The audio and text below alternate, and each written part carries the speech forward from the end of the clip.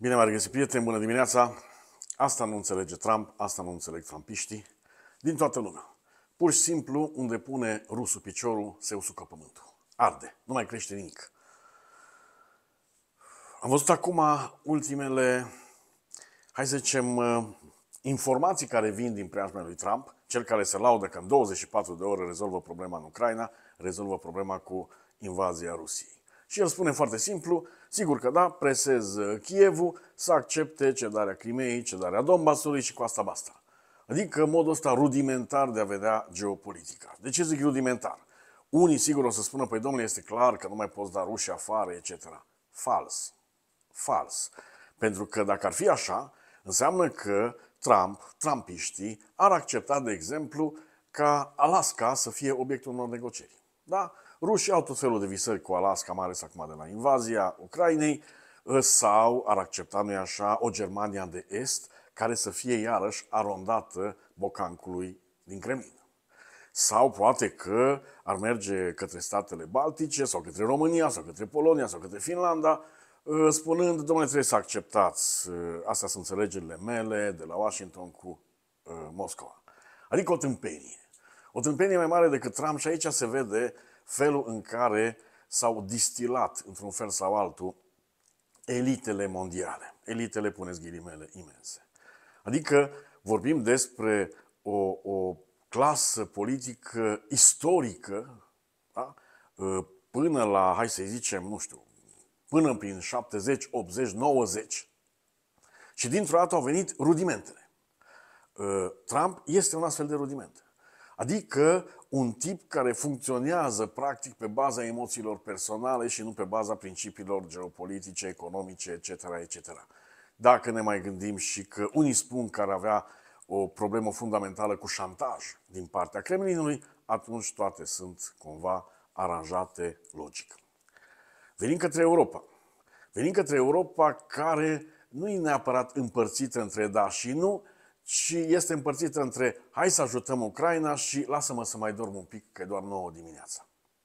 Adică mă uit la Scholz, la socialistul Scholz, care practic conduce cea mai mare uh, economie a Europei, un top 5 economie a lumii, da, vorbim de Germania, și totuși are tot felul de înfricoșări personale vis-a-vis de ajutorul dat Ucrainei.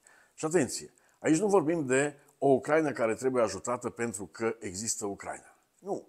Aici vorbim despre o Ucraina care trebuie ajutată pentru că Ucraina acum luptă, ne place sau nu, ca rușii să stea un pic mai departe de noi. Sună, sigur, ca un truism, limbă de lemn, Ucraina luptă și pentru noi, dar ăsta e adevărul.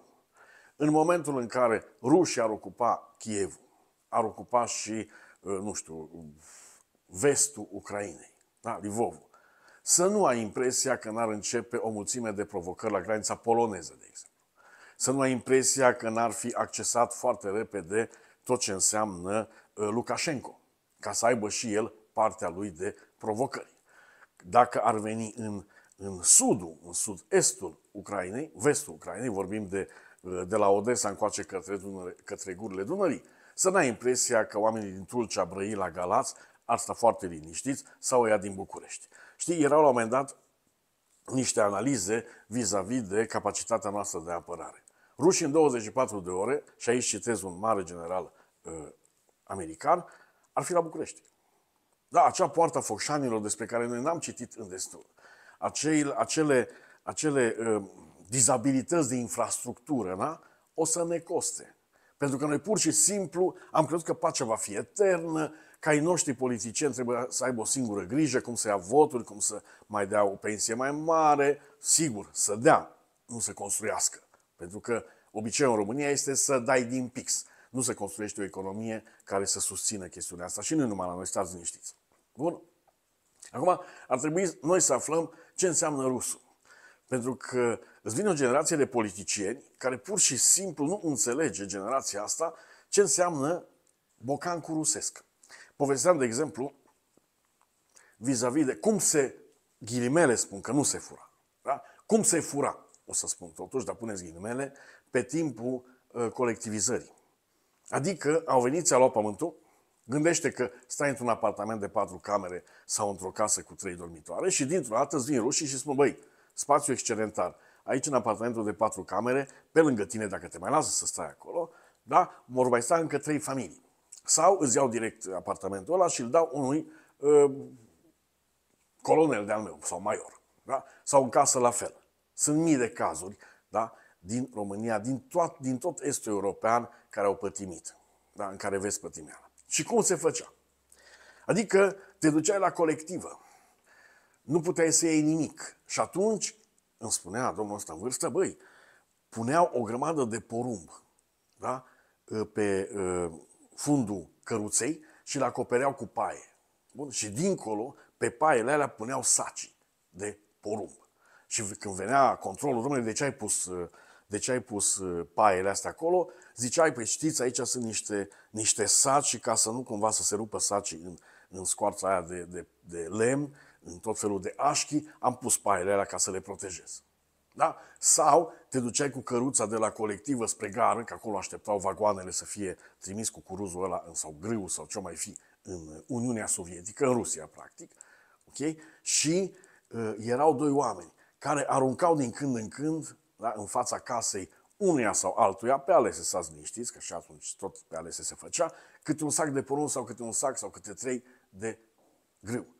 Adică era lupta pentru supraviețuire care te obliga cumva să te duci pe lângă reguli. Sigur, regula era să nu furi. Dar asta nu mai era furt din moment ce ție ți se fura nu știu cât. Înțelegi? Ăștia sunt rușii. Niciodată n-au fost altfel. Ă, când au venit prima dată Moldova, da, cu Chiseliov, cu ăștia, noi zicem Chiselev, pentru că nu e așa după Turgeniev, Turgeniev, da? îl franțuzim un pic, să nu ne fie foarte rușine că avem tot felul de bulevard de Chiselev, etc. Ar trebui să zicem Chiseliov, da, mă, rusul Chiseliov. Când au venit, i-au făcut praf pe toți moldovenii. Și când au mers boierii să se plângă, domnule, păi, ne-ați luat tot. Nu, nu, nu v-am luat tot. V-am lăsat ochii ca să puteți plânge. Adică cinismul ăsta este acum transformat într-un cinism geopolitic. Pentru că atâta pot ei. Ei sunt o națiune sălbatică, da? n-au investit niciodată în dezvoltarea aia uh, culturală, în dezvoltarea aia, uh, dacă vrei, civilă. Tot timpul s-au gândit la militarie. Și o să spuneți acum, cum, domnule, vorbim de ruși și n-au, dez- n-au dezvoltare culturală? Nu au. Dezvoltarea culturală nu e atunci când ai câțiva uh, Barâșnicov sau uh, Tolstoi sau uh, Esenin. Nu, alea sunt vârfurile care ies din mocirlă. Din când în când te duci pe, pe o mlaștină da? sau pe o mocirlă imensă și dai, câte o, dai de o palmă de pământ uscat. Ăștia sunt mari creaturi ai Rusiei. Atât. Și acolo, cu destule, cu destule fandări, vezi Dostoevski, cel care era încântat să propună lumii ruse da? ca ă, toată Crimea să fie rasă de tătar și acolo să fie aduși ruși. După decenii și decenii și decenii, ia ca s-a întâmplat. Stalin a făcut asta. Niciodată în mintea rusului n-a existat conceptul de pace. Pur și simplu. Pentru ei pacea înseamnă o vacanță numai. Nu este o, o, o, curgere, o curgere logică a existenței Rusiei, existenței lor. Ă, în același timp, vezi paradoxul în timp ce vin să spună că Rusia trebuie să fie o mare putere și că este o mare putere și că trebuie dezvoltate nu știu câte rachete, dacă se poate nucleare, cu care să ștergi Occidentul de pe fața lumii, America, etc., își trimit, își trimit copiii la școală în Occident, își fac vacanțele în Occident, își cumpără proprietăți în Occident. Da? Dacă te duci la Biarritz, o să vezi la un moment dat pe un colț, așa ca un fel de dinte ieșit, o vilă superbă, e ca un fel de mic castel eu l-am văzut. Și toată lumea știe. Acolo este prima, casa primei sau a doua neveste a lui uh, Putin. Scurt. Au venit, au făcut uh, bani din tot felul de, de, de ghilimele CAP-uri de alea cu petrol și gaze, tot felul de monopoluri din Rusia, au stat cu capul plecat, au făcut câteva miliarde și au venit în Occident la cumpărături. Bun? În Paris, dacă te duci acolo, în sus, în susul Senei, o să vezi uh, locuințele alea pe apă. Și o să vezi, v-am și arătat, dintr-o dată cu litere rusești, tot felul de bărci și bărcuțe, mici iahturi, da mici, da, de, de locuit în ele, te mai duci încă 10-15 km dacă te plictisit de, de uh, peisaj. Sunt o grămadă. Sunt o grămadă care vor să trăiască în Occident, urând Occidentul și făcând tot posibilul să contribuie la dezvoltarea unor arme care pot să facă praf Occidentul. Asta e mintea rusului. El crede că pământul tot e a lui. Nu contează că pe unde calcă se usucă. Nu contează că pe unde calcă el își pune bocancul, nu mai crește nimic o mie de ani.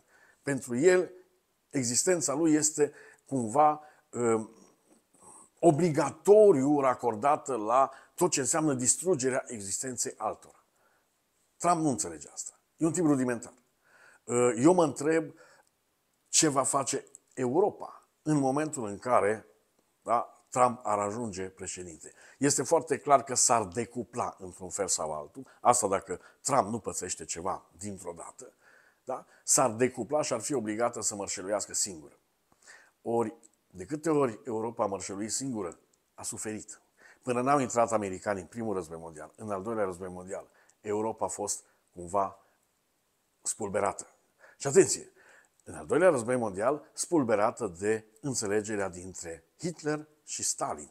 Ca să spunem tot timpul chestiunea asta, da, chiar dacă se enervează rușii și prorușii, Stalin și Hitler au pornit amândoi umăr la umăr al doilea război mondial. Să ne înțelegem. Câte victime a făcut unul cu nazismul lui, atâtea victime sau poate mai multe au făcut ăilalți, comuniștii sovietici, cu victimele lor. Când în Ucraina mureau 3 milioane de oameni, doar pentru că, atenție, nu erau împușcați, mureau de foame, holodomorul ăla, o nebunie, da? Lumea s-a prefăcut că se uită ca astăzi la eclipsă de soare. Asta trebuiau amendate. Trebuiau, eu tot zic, într-un fel sau altul, sigur, acum o să mă bumbăcească unii, băi, eu îmi doresc o forță de a multinațională, dacă în momentul în care există un dobitoc și oamenii pot muri de foame, oamenii, oamenii pot muri nevinovați, civili, etc., femei, copii, în momentul ăla, forța aia multinațională a plecat la ras pe ăsta și cu asta basta. Într-o zi acolo se va ajunge. Dar până ne vine mintea la cap, ca să nu mai acceptăm tot felul de porcării din, fa- din, din, din capul proștilor care ne conduc, și vorbesc acum de ruși, vorbesc acum de Trump, de tot felul de, dintre ăștia de rudimente de astea umane, va mai trece un pic de, nu știu, cine știe că sori s-or mai plictisi de noi.